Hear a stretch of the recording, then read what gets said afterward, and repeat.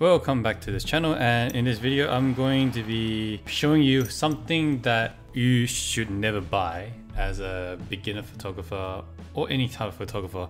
Something you should not even look into, it's just a waste of money. I've seen people posting about this on those photo, uh, those photography groups, on Facebook groups and videography Facebook groups. People just asking about, you know, um, are these any good and whether they should be spending money on these.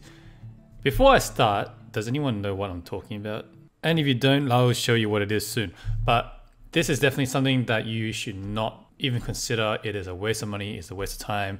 Um, don't ever even look into buying one of these. I've seen this done before. So some people will buy a really high-end camera like a Canon um, 50D or an 80D, whatever it is, pretty high-end camera, you know, a couple of thousand dollars, and they'll buy a lens with it.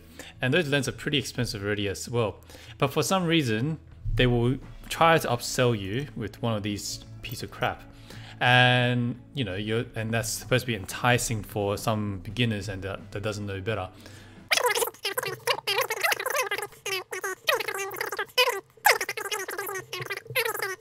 Um, but it is probably too good to be true. So I'm just going to stop wasting your time and I'm going to show you what it is. So this is actually an adapter for your lens. So this is a lens that goes on top of another lens. So let me show you what I mean by that.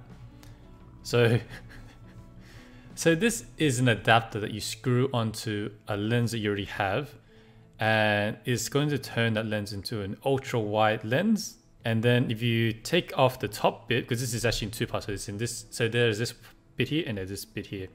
If you take off the top bit, it will actually turn it into a macro lens. That's what it says right here. But anyways, I'll show you what it does. So with this whole thing together, it becomes a wide lens. With just this bit connected to your lens, it will turn it into a macro lens. I'll show you what it looks like. So this has a thread of I think 72 millimeters. It was perfect for my uh, was it Sony 18 to 105 um, f4 lens. So this lens. So it was perfect for this lens. You get this cannon of a lens, like this massive bazooka of a lens, and this is going to do everything for you. So if I take this off, so this is going to be a massive wide angle. So apparently this is going to be so wide that it is going to increase the wideness of like by 50%. So if I have an 18 millimeter, if I'm on 18 millimeter on this lens, it's actually going to be a 9 millimeter in terms of how wide it's going to capture. And that is ridiculous. It's going to be like a fish eye.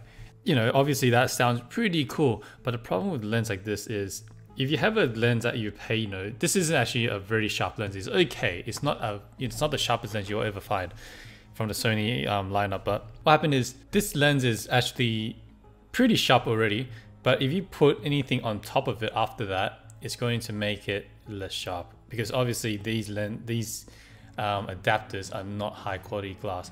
So if you put this on and that's going to diminish a bit of your picture quality, put another one on, it's just going to ruin everything. If you don't care about anything about picture quality, then this is probably not going to be a problem.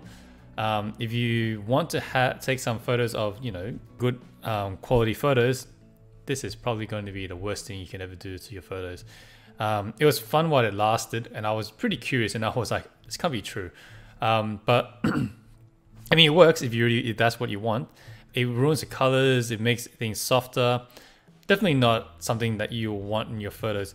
You know, if this is something that you like, it might be something that you are looking for. So if you really want to, I guess this is something you can look into getting. But in my opinion, this adapter is a waste of time. Uh, it's a waste of money don't ever get one of these. Don't encourage it. I hope this helps you and you know save a bit of money. And again, don't buy this. See you next time.